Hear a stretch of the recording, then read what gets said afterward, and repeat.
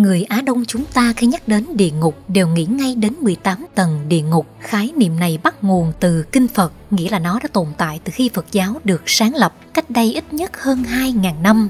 Ở phương Tây cũng có nhiều thuyết về địa ngục. Trong Kinh Thánh nói rằng địa ngục là nơi tâm tối ở bên ngoài thiên đường, nơi mà chỉ những kẻ phạm tội ở nhân gian mới bị đẩy xuống chịu mọi sự trừng phạt không bao giờ ngừng. Thế nhưng vị mục sư tên Gerald Johnson lại chia sẻ những điều bản thân ông mắt thấy tai nghe, ngay chính địa ngục. Điều này khiến ông bị rất nhiều người công kích về tính xác thực của câu chuyện, cũng như nếu là sự thật. Vậy vì sao một mục sư như ông lại bị đầy xuống địa ngục?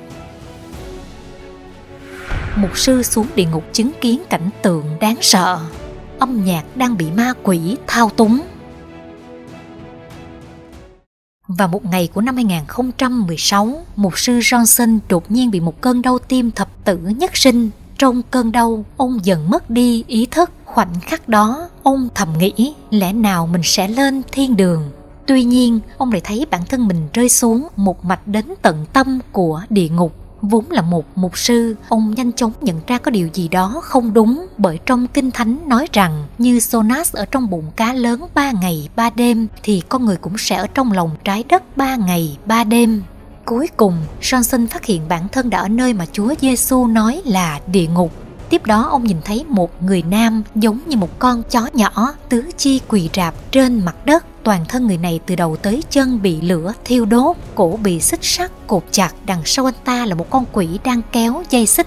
Thông qua thần giao cách cảm, Johnson biết được thân thế của người này. Từ khi anh ta sinh ra, con quỷ đã luôn bám theo quấy rầy, ảnh hưởng tới cuộc sống của anh, khiến anh ta không tin vào sự tồn tại của thần, từ đó làm những việc sai trái người đàn ông này sau khi hạ địa ngục trở thành nô lệ riêng của con quỷ để nó thao túng sau đó, Johnson mơ hồ nghe thấy một số âm thanh. Ông đi theo hướng của âm thanh đó và tới một khu vực khác của địa ngục. Đây là bài hát đang rất thịnh hành trên trái đất.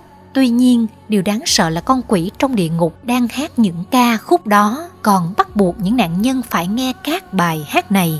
Lúc đó, ông lập tức hiểu ra, hóa ra rất nhiều linh cảm sáng tác bài hát và lời bài hát ở trên trái đất đều bắt nguồn từ ma quỷ. Một số người sáng tác là thông qua hút cần sa để có được linh cảm. Con người khi đang ở trong trạng thái phiêu phiêu, họ giống như mở ra cánh cửa cấm của linh giới. Lúc đó ác quỷ sẽ tiếp xúc với họ và đưa cho họ linh cảm để sáng tác ra những ca từ và thao túng nhân loại. Johnson nói rằng khi con người nghe những lời ca đó chính là họ đang tra tấn bản thân bởi họ vốn có thể lựa chọn sử dụng âm nhạc để ca tụng thần nhưng con người lại chọn sùng bái sa tăng theo lời của Johnson, phần nhiều âm nhạc trên trái đất ngày nay là bắt nguồn từ âm nhạc nơi địa ngục. Cũng chính vì những phát biểu này của mình mà ông lập tức bị rất đông cư dân mạng công kích. Vì nói tới âm nhạc, rất nhiều người không thể tiếp nhận được việc những thứ họ thích lại bị hạ thấp nhưng thực tế những điều này không phải chỉ một mình Johnson nói ra Drag and Roll âm thanh của địa ngục Jeff Godwin là một nhà truyền giáo cơ đốc đến từ Bloomington, Indiana, Hoa Kỳ. Ông cũng cho rằng âm nhạc rock and roll trên thế giới chính là do ma quỷ sáng tác. Thực ra trước khi ông bước vào cơ đốc giáo, ông không ghét nhạc rock and roll đến thế. Thậm chí ông còn là người yêu thích kim nhạc sĩ nhạc rock nên ông rất hiểu loại nhạc này. Cho đến ngày 3 tháng 12 năm 1979, ban nhạc Rock and Roll The Who của Anh biểu diễn tại thành phố Cincinnati thuộc bang Ohio. Kết quả vào buổi diễn ngày hôm đó xảy ra thảm họa, đám đông dẫm đạp lên nhau khiến 11 người thiệt mạng. Khi đó, Godwin có mặt tại hiện trường và tận mắt chứng kiến tất cả sự việc. Cũng có thể sự việc này đã có tác động rất mạnh tới ông theo lời của Godwin, nguồn gốc nhạc rock có thể truy ngược lại từ vài ngàn năm trước. Tiết tấu của âm nhạc này do Satan và ma quỷ viết ra, mang theo sức mạnh khống chế tư tưởng và tiềm ý thức của con người. Trước khi những tiết tấu đó xuất hiện trong nhạc rock, chúng du nhập vào nhạc jazz, blues và các hình thức âm nhạc khác của người Mỹ gốc Phi từ châu Phi. Trong cuốn sách Môn đồ của ma quỷ The Devil's Disciples của Godwin, ông đã công bố một nghiên cứu của mình Ông phát hiện rằng Satan thao túng con người thông qua tiềm thức trong các bài hát quen thuộc. Cách này có thể đột phá được sự phòng vệ ý thức của con người, phá hoại vùng tiềm ý thức của con người. Ví dụ, một bài hát thoạt nghe âm nhạc vô cùng ồn ào như tiếng hò hét hoặc là tiếng hát nhưng khi nghe kỹ có thể nghe thấy âm thanh khác đang hát lời ca khác. Godwin đưa ra ví dụ bài hát Ship của nhóm Drag Pink Floyd của Anh dưới vỏ bọc âm thanh của loại nhạc heavy metal ồn ào, ở một phần nào đó lại có một âm thanh đang hát bản sửa đổi của Thi Thiên 23 khi đối chiếu với bản nguyên gốc, vốn là lời thơ ca tụng Đức Giê-hô-va, nhưng lời bài hát ship lại sửa đi. Hai câu đầu về cơ bản vẫn giữ nguyên, nhưng hai câu sau lại khác. Bản nguyên gốc hai câu cuối đại ý là, Ngài để tôi nằm trên thảm cỏ xanh, Ngài dẫn dắt tôi tới bên bờ nước yên tĩnh. Bản sửa đổi lại thành Ông giải thoát linh hồn tôi bằng một thanh kiếm. Ông treo tôi trên một cái móc cao. Ông biến tôi thành sườn cừu. Ở hai bản, nội dung đã hoàn toàn khác nhau. Godwin nhận xét rằng những lời bài hát này là bán bộ thần. Chúng ta có thể dễ dàng tìm thấy những lời bài hát kiểu như vậy trong rất nhiều ca khúc hiện nay và dường như những người hâm mộ của họ đều chấp nhận điều đó. Miễn là người hâm mộ thích hay thần tượng nhóm nhạc nào đó thì họ sẵn sàng tha thứ bao dung tất cả chứ chưa nói tới âm nhạc và nghệ thuật hiện đại Đương nhiên, có thể có người nghĩ lời bài hát đã bị những âm thanh ồn ào che đậy. Mọi người đều không nghe ra được lời bài hát, làm sao chúng có thể gây hại cho con người. Nhưng đây mới chính là điểm nguy hại của việc kiểm soát tìm ý thức. Bắt đầu từ thế kỷ 20, nhiều thương nhân đã nghiên cứu xem liệu có thể cấy thông tin vào tiềm thức để nâng cao doanh số sản phẩm hay không. Ví dụ, nổi tiếng nhất là thí nghiệm của James V. Curry vào năm 1956 Vickery ở trong một nhà hát tại New Jersey và tiến hành thí nghiệm với 45.699 khán giả xem phim. Ông đã chiếu các thông điệp ăn bổng ngô và uống Coca-Cola trên màn hình trong một phần 30 giây để xem nó có kích thích khán giả sinh ra thèm muốn với bổng ngô và Coca-Cola hay không. Kết quả sau thí nghiệm cho thấy lượng tiêu thụ bổng ngô tăng lên 57,5% và tiêu thụ Coca-Cola tăng lên 18,1%. Tuy nhiên, sau đó những số liệu này bị cho là giả mạo và Vigri cũng thừa nhận điều này. Nhưng cũng có người phỏng đoán Vigri nhận sai, thực ra để thông điệp tìm ý thức không bị chịu tai tiếng. Mặc dù vậy, sau sự việc này, có khá nhiều thương nhân đã sử dụng phương pháp lồng ghép thông điệp tìm ý thức để thực hiện các mục đích ví như chống tội phạm, như một bài báo đăng trên The Time vào năm 1979 đã đề cập tới một phát minh gọi là hộp đen nhỏ. Khi đó Mỹ và Canada có khoảng 50 cửa hàng bách hóa được lắp đặt thiết bị này. Về cơ bản, nó là một máy hỗn âm hòa trộn âm nhạc nhạc phẳng với thông điệp tôi là người thành thật, tôi không lấy trộm đồ nhưng âm lượng của máy rất bé, dường như không nghe thấy. Thông điệp này được phát lại tốc độ nhanh cứ 9.000 lần mỗi giờ.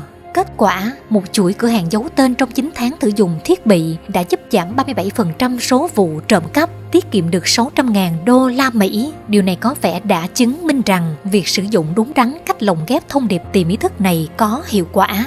Ngày nay, không chỉ hàng hóa mà rất nhiều buổi biểu diễn nghệ thuật như phim và sách đều sử dụng phương pháp này để tạo ảnh hưởng tới khán giả, nhưng con người thường không dễ nhận ra được bản thân họ đang âm thầm bị thao túng vì vậy, việc mục sư Johnson nói một số âm nhạc ngày nay trên thế giới đã bị ma quỷ thao túng để sáng tác thì rất nhiều người không tin, thậm chí còn xung kích. Ông Johnson cũng vì trực tiếp nói ra một số bài hát được yêu thích mà bị rất nhiều người công kích. Phần bình luận của video chia sẻ trải nghiệm của ông cũng đã bị khóa. Con người đang bị thao túng như thế nào? Nhà bác học vĩ đại nổi tiếng Nikola Tesla từng nói rằng nếu muốn phát hiện ra sự huyền bí của vũ trụ, hãy suy xét nó từ góc độ của năng lượng, tần số và rung động. Điều này cũng là nói sự huyền bí của vũ trụ và âm nhạc có mối quan hệ chặt chẽ với nhau. Ví dụ như âm nhạc với tần số 432 Hz được cho là nhịp điệu hài hòa nhất có thể chữa lành tâm hồn Tuy nhiên, sau năm 1953, Tổ chức Tiêu chuẩn hóa quốc tế ISO lại thống nhất điều chỉnh âm nhạc toàn cầu về tần số 440 Hz. Được biết, quan chỉ huy phát xít trong thời Thế chiến thứ hai đã đổi tiêu chuẩn giai điệu của âm nhạc quốc tế thành tần số 440 Hz nhằm mục đích thống nhất tư tưởng của con người, khiến họ càng dễ dàng bị kiểm soát và tiếp nhận mệnh lệnh.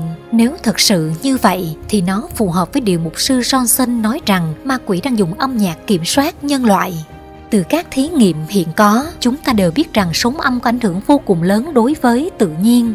Chúng ta hãy xem hai bức hình dưới đây. Đây là sự khác nhau giữa hình dạng sóng dưới tần số 432 Hz và 440 Hz. tần số 432 Hz ở bên trái cho thấy khá hài hòa, trong khi tần số 440 Hz ở bên phải trông khá hỗn loạn. Chúng ta đều biết trong cơ thể người có 70% là nước, mặc dù tần số 432 hạt và 440 hạt chỉ cách nhau 8 hạt, nhưng loại cộng hưởng này có ảnh hưởng rất lớn đối với cơ thể người. Ngoài ra, bản thân âm nhạc còn có năng lượng. Những thể loại âm nhạc khác nhau sẽ phát ra mức năng lượng khác nhau. Có một thí nghiệm nhỏ về kháng lực của cơ bắp, đó là đo năng lượng của một vật tốt hay xấu bằng cách kiểm tra kháng lực của cánh tay con người và cũng có một bộ thang đo điểm năng lượng từ 1 đến 1000. Trong quá trình thí nghiệm, người tham gia duỗi thẳng cánh tay ngang vai rồi kéo căng, sau đó người khác ấn nó xuống. Khi được trải nghiệm năng lực tích cực từ những điều tốt đẹp, cánh tay vẫn giữ chắc dù bị người khác ấn mạnh. Ngược lại, nếu nhận năng lượng tiêu cực từ những điều không tốt, cánh tay sẽ lập tức trùng xuống khi chịu lực tác động. Giáo sư Dương Thạc Anh của Đại học Tôn Trung Sơn ở Đài Loan đã sử dụng phương pháp tương tự để đo năng lượng của âm nhạc. Kết quả thực nghiệm của ông cho thấy mức năng lượng 200 được cho là mức giới hạn giữa năng lượng chính và phụ. Mức năng lượng càng cao, trên 200 thì chính là âm thanh mang năng lượng chính diện, dưới mức 200 là âm nhạc mang năng lượng phụ diện ông phát hiện ra rằng điểm năng lượng của nhạc jazz và âm nhạc những năm 80 mà chúng ta thường yêu thích chỉ ở khoảng 200 đến 300 điểm, nó không hề cao. Còn như nhạc cổ điển của Beethoven, Mozart đạt 900 điểm. Các loại âm nhạc khác như heavy metal, rap, pop, nhạc điện tử đều có mức năng lượng dưới 200 điểm. Vì vậy, việc thu nạp nhiều năng lượng phụ diện loại này chắc chắn không tốt cho sức khỏe. Giáo sư Dương Thạc Anh cho biết còn phát hiện ra rất nhiều thanh thiếu niên phạm pháp có liên quan đến nghiện trò chơi điện tử. Nguyên nhân chính là ngày nay rất nhiều âm nhạc đằng sau các trò chơi điện tử sử dụng máy tính tổng hợp nhạc điện tử. Khi nghe nhiều âm nhạc này sẽ khiến con người trở nên lạnh lùng. Vì vậy, giáo sư Dương đề xuất khi chơi trò chơi điện tử tốt nhất nên giảm âm lượng xuống, mức không Do đó, mọi người nên lựa chọn loại âm nhạc nghe một cách cẩn thận, tiếp xúc nhiều với âm nhạc có năng lượng chính diện để đạt được thân tâm đều khỏe mạnh. Quay lại nhân gian không chỉ nhìn ra được mặt tối của âm nhạc hiện đại, sau khi chứng kiến các cảnh tượng nơi địa ngục, mục sư Johnson cũng ngẫm ra được một đạo lý mà bản thân ông đã không nhận ra trong suốt cuộc đời mình. Nó bắt đầu khi linh hồn ông quay lại nhân gian. Ông từng thấy rất khó chịu trong lòng và tự hỏi vì sao ông đã làm nhiều việc tốt đến thế, giúp đỡ bao nhiêu người đến vậy mà Chúa lại để ông xuống địa ngục. Ngay lúc đó, ông nhìn thấy Chúa Giêsu hiện hiện trước mắt ông và nói: con vẫn luôn âm thầm tức giận những người làm tổn thương mình và còn muốn ta trừng phạt những người từng làm tổn thương con. Họ không phải là người của con mà là người của ta. Ta chỉ muốn con tập trung vào những nhiệm vụ ta giao cho con lúc này mục sư johnson mới hiểu ra, mặc dù ông đã làm nhiều việc tốt, nhưng trong tâm ông vẫn có oán giận không vứt bỏ. Ông nói, một người mà không cách nào khoan thứ cho người khác là người đã quên mất mình từng được khoan thứ như thế nào. Vì vậy, kể từ ngày quay lại nhân gian, ông tập trung nhìn vào bản thân, không nhìn vào người khác đối xử với ông như thế nào.